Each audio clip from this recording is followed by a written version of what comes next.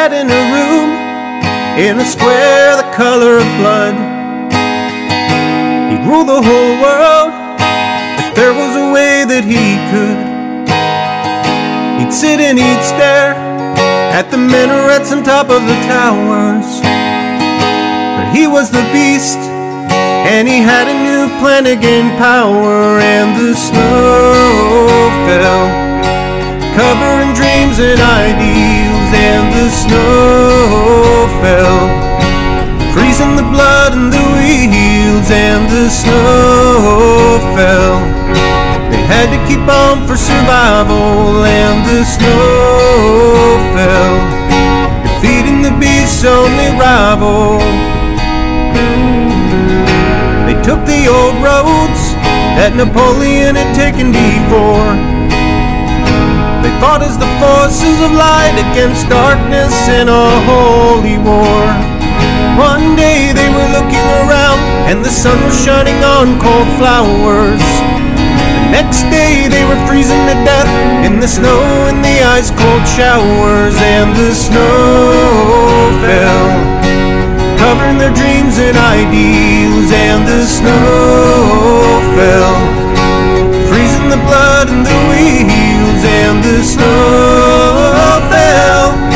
They had to keep on for survival, and the snow fell, defeated the beast's only rival. Then came the deadly road back from the steps of their retreat. The cold racked their bodies, worse was the pain of defeat. Many people who hailed them once now turned and looked away. These people now knew that the beast was on his way, and the snow fell, covering their dreams and ideals, and the snow fell, freezing the blood in the wheels, and the snow fell.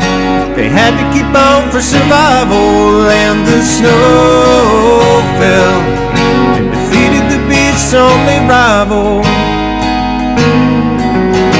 You finally came back to the borders of your fatherland. Enemies came, traitors everywhere at hand. Many people who fought and died, knowing they had to win. It still sickens my heart to see the red flag in Berlin and the snow fell, covering their dreams and ideals, and the snow fell, freezing the blood in the wheels, and the snow fell. They had to keep on for survival, and the snow fell, and defeated the beast's only rival. Beast's only rival. Defeated the beast's only rival.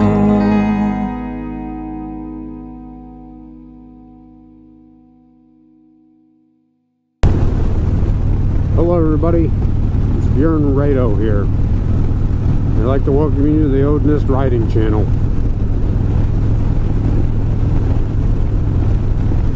I'm uh, out on my first 200 mile trip of the year. Trip. And basically, we're on the hunt for lunch right now, which I got about 10 miles to go before I get to a restaurant that was recommended to me. And we're actually on our way down to Madison because it's my little buddy's naming day. And I got a gift for him. Something for his father to step on. So, I guess today's subject is Odinism and the modern world. And we're going to go over some things like, uh, I know I did this kind of brief, but what you won't see on my channel, what you may see on my channel, what you will see on my channel. So I guess we'll begin with how I got into Odinism itself. I first saw an article about pagans in the military, and everyone probably knows it. They were being denied the right to supposedly wear wings on their helmets. And I think it turned out to be a fake article eventually. Somebody like uncovered that. And uh, they were saying, they were stressing how it was their heritage. And apparently one of the commanding officers were mocking, yeah, well, we got some guys of Spartan and Greek descent, and we don't need them spearing themselves in the shower with each other. So, kind of a fucking homosexual comment there, if you ask me. But, yeah, so I got interested I started uh, looking into my heritage. And of course, my family didn't really want to give up much. Just some simple things like Italian, British, and possible German descendants, which I'm in that realm of Germania anyway. Make it clear too, because a lot of people think that heathens are Vikings, and Viking is actually a profession. It's not a race of people, it's a profession. So if you're kind of new to this, get that through your head right now. Because you will hear it and see it repeated everywhere. So I started out like probably most people do. I joined some groups online. Started discussing things in chat forums and it was horribly, horribly leftist. I mean, it's, it was something I spent my former years kind of against, which turns out to be communism. I used to be part of the, uh, try to run a militia out of my state and you know how it is with Christian militias. They they got an agenda of their own, and that's about it. I used to be a prepper until my family kept eating all my crap, and I said, fuck this. So I started looking into things, kind of doing some soul searching, what I wanted to do, and eventually I found Odinism out of Asatru. And uh, how that came along is I was getting disgusted with what I was seeing and what I was hearing. You know, no guns, homosexuality is okay, you know, all that happy fucking horseshit they like to push. And then I was deleting forms, I was deleting people, I was going through my whole list of shit, and the page kind of refreshed itself because somebody posted a rant about these folkish heathens, these right-wing bastards and that was in capital letters. And that's what caught my attention. So caps do catch people's attention. And they were saying how disgusting and vile these people are, that only European blood can do this. You guys are nothing. So from there, I kind of copy and pasted and saved the post and started to look for some of this stuff and I started finding it and finding it so I joined some groups there and kind of just you know went from there I liked what I saw there were a few things I didn't agree with but I liked what I saw so I was pretty much you know drawn into it then and finally I made that decision after about nine to ten months of studying okay this is what I want to do this makes sense to me you know, this is of in the spectrum of supposedly right wing leading up to nationalist, socialist at least. And Dual Productions got good videos on that. If you want an explanation about that, National Socialism, what it is, go check out his channel. So, yeah, that's how I got into Odinism. And what we pretty much believe, the Folkish, is we know the world is modern. There, we're not gonna, you know, run around in rows with a sword and a spear and go hail Odin all the fucking time because to me that's kind of trying to invoke the gods and invoking them like that really isn't the best way of things because if you have nothing to offer them they're going to be like, what the fuck did I look at you for? And that's even if they do look at you. Because we also know that the sagas tell of famous heroes. They don't tell the lonely peasant that works grain all his life. Or the guy who got in a few skirmishes and won, and he now sits on this throne in his house that because he's a small chieftain of a village. No, they tell great heroes of great powers and how the All Father himself eventually comes to take them and take back his gifts. And so people got to understand about Valhalla. It's a realm of the dead. It's not this glorious. I guess if you were an undead warrior, yeah, it would be glorious. But it's not this glorious look forward to, even if you die and you fought as hard as you could because you are chosen to go. It's not an automatic thing. He's building his armies for the end time and he needs the people that he wants. He doesn't need people that are just going to maybe cower under forces of darkness.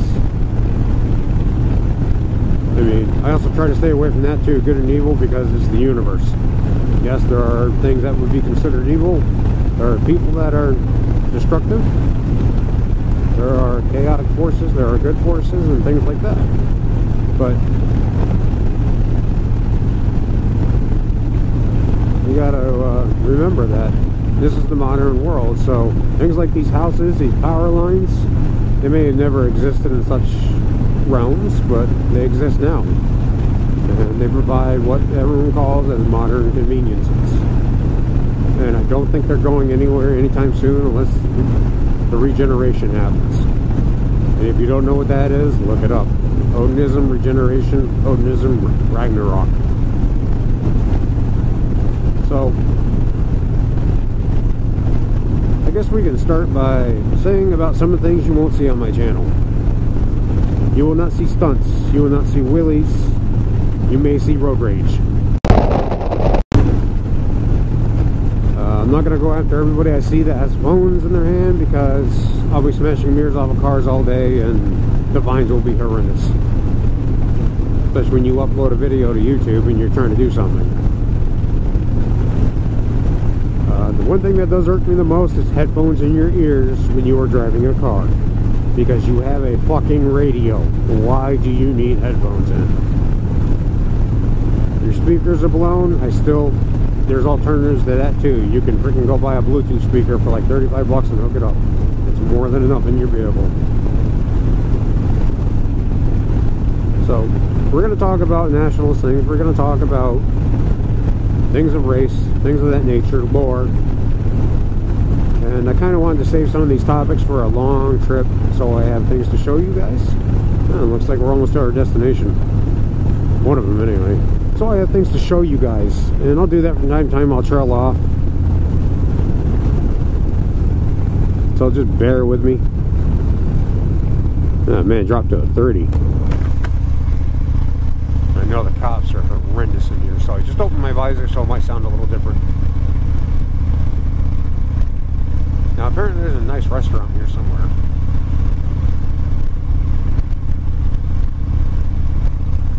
So this is basically rural Wisconsin. I mean, you go farther north to eat the trees and mountains, which we'll be seeing some of that in the summer.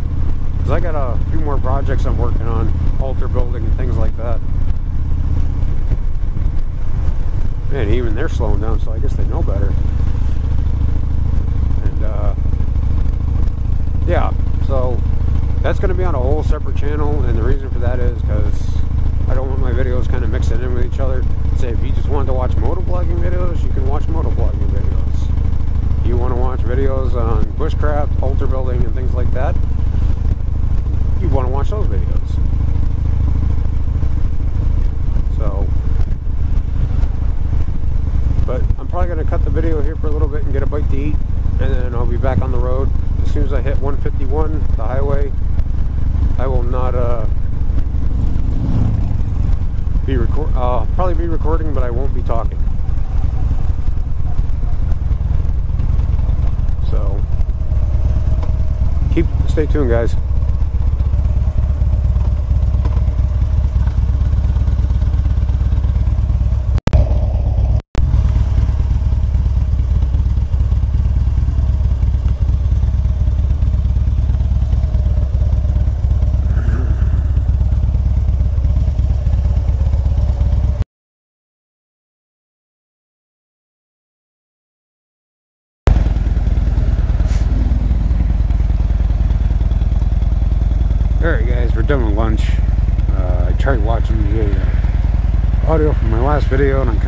Well because I'm outside in the wind. So hopefully it turned out alright. If not, I will do another one on the way up to kind of correct it. Maybe add this in. So this is kind of, this is the trip going down. This is before. It's not going home. I just got done eating this little restaurant I pulled into. It wasn't too bad. The seating could have been better. Uh, had church pews for seating. That's another thing about the countryside out this way is it's all church. It's that's what it is.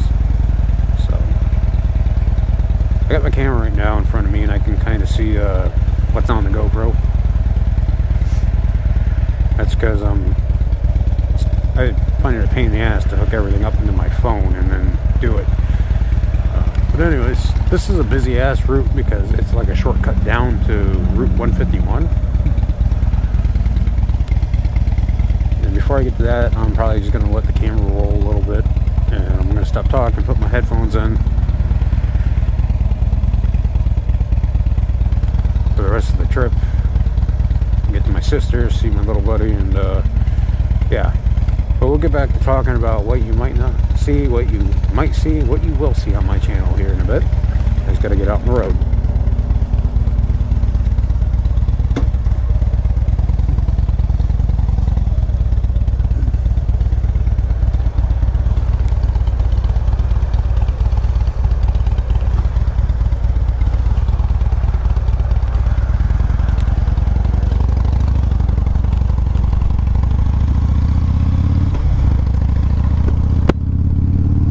So I try not to touch the camera every time I do that. Sometimes I do. So there's a downside to my little mounting system here where I can see the screen.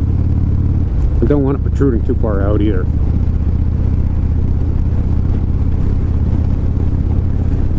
My guess is what pond or whatever the hell it's called. That's where we'll hit the highway. And that's where I'm probably going to cut the audio in the video. been viewing the radar and rain looks like it's coming in but it's not. It's kind of like patchy skies which ain't too bad. But anyways eventually on my channel too I want to incorporate a drone. I've already selected one. It's a little bit on the expensive side. So it might be over a year before we even see any kind of drone footage. But it can be used for multiple things such as this following drone and Project Noble, anything like that. And uh, I got my first musical artist. I'm going to give his stuff a listen to and more than likely incorporate it in just to give him some, get him out there.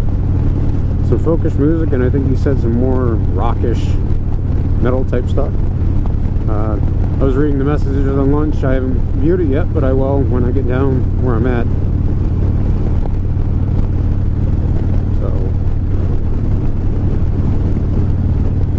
But like I was saying, road rage is a thing you may see because I get dumb drivers and I'm not gonna lie, sometimes it's my fault too. I mean, I'm not the best of drivers and I keep that in mind when I get on the road is nobody is a good driver. We all suck almost equally, some worse than others. And you take a risk every time you get out on a motorcycle, but I love bikes. Riding, started riding in my early 20s. So, and we'll talk about some of those experiences too. I've been cross country once. Uh, I've been to Silverton, Colorado, where the hot springs are. I'm trying to plan out a trip in a few years to go back and actually use the hot springs because I saw people do use them. kind of go back into that mountain range and maybe stay like there for a week and hike up and down the trails. But yeah. So maybe I'll do a separate segment coming back home where I'll talk about my trip across country, why I was going, and why I stayed in Arizona for two years. It's not all as cracked up to be down there. I didn't really like it very much. That's just me. Some people just fall in love with it. I was not one of those people. I kind of missed the north, even though it's wretched, cold, wet, and snowy. And we just got rid of a lot of it the temperature went up out here too. Uh, the air right now feels amazing.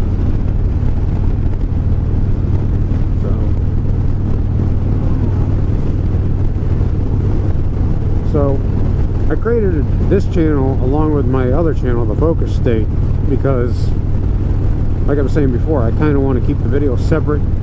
So if you want to watch one thing, you watch the other.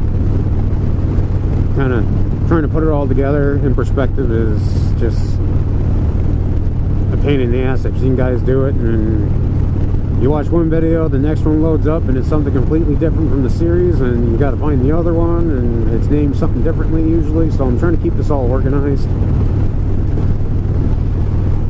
Which organization is really not my thing, but I'm getting better. So,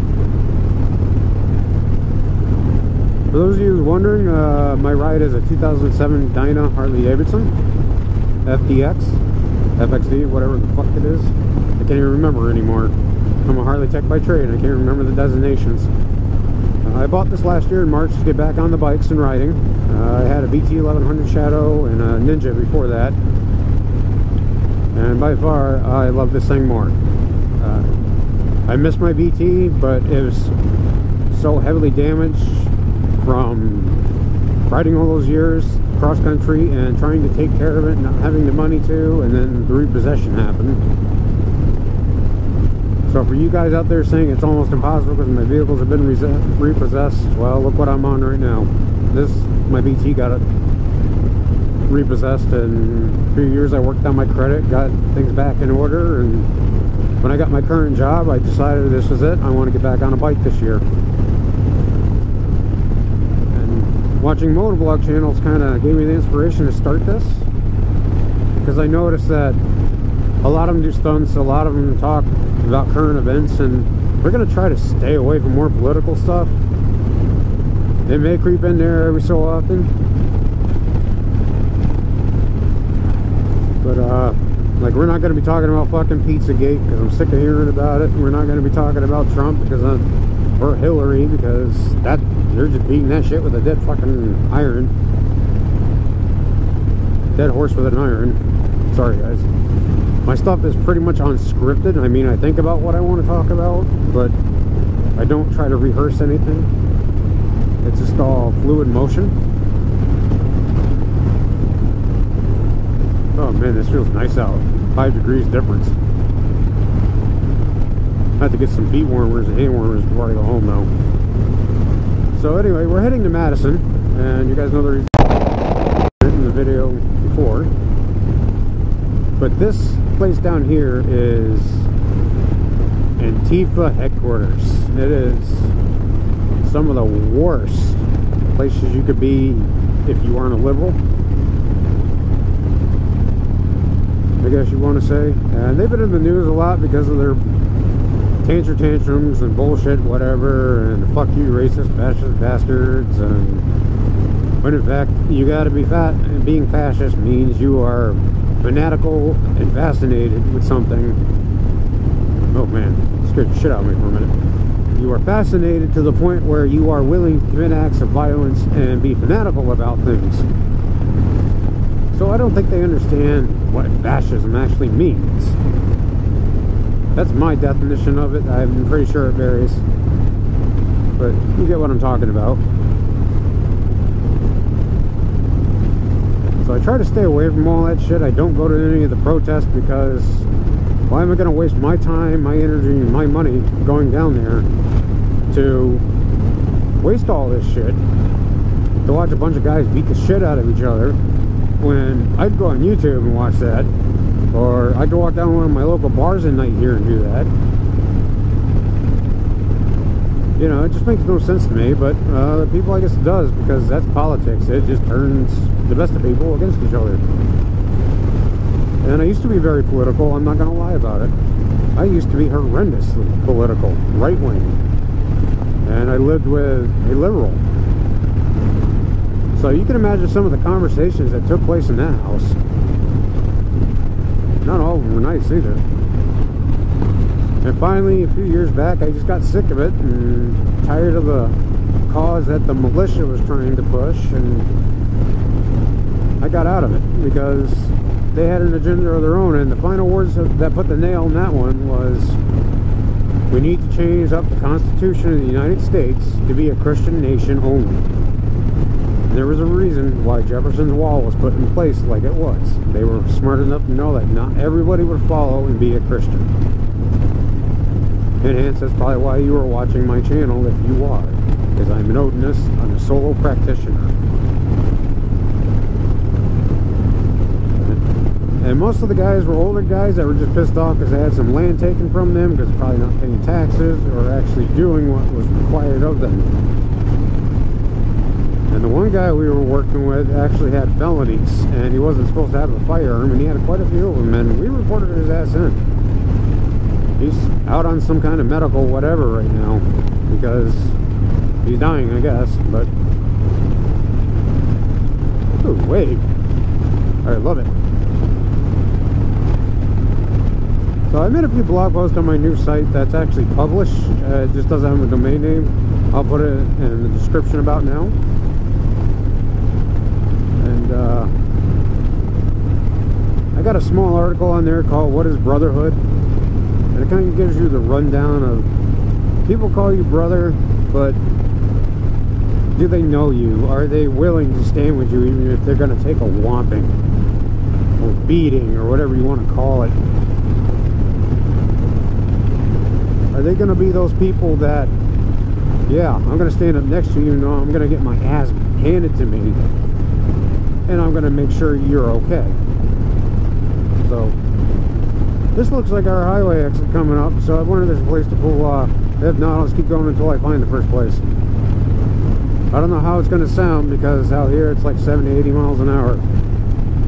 This helmet's pretty good, and I'll eventually do a review on that after I wore it most of the spring and summer because I don't see very many reviews on them. It's an HJC, I think it's iMan or iMax, something like that.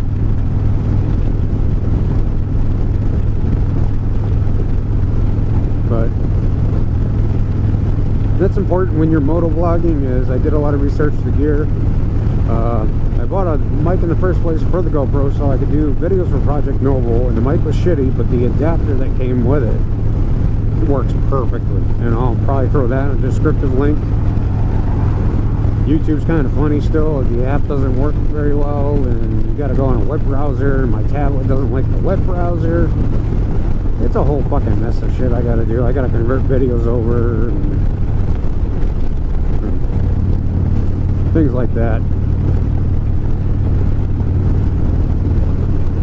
See, I just fucked up driving there. Talking and driving swear some, that's another thing too. I put headphones in, people are gonna call my fucking phone and ask me where I am. It's ridiculous, and it doesn't matter what mute or do not disturb button I hit, it comes through. So we're getting on 151 right now, and I will probably catch you guys later because it's gonna get loud. It's windy today. Not too bad, but windy enough. So this is Bjorn Raido signing out, and enjoy the rest of the video please give this guy's music or page a like. I'll make sure I get every information I can together for him. And you guys. Keep the shining side up. Stay true to your ancestors. And don't stray from that path. Check out check us out at order15.com. And I'll throw my website links in there as well because they're supporting me, so I support them.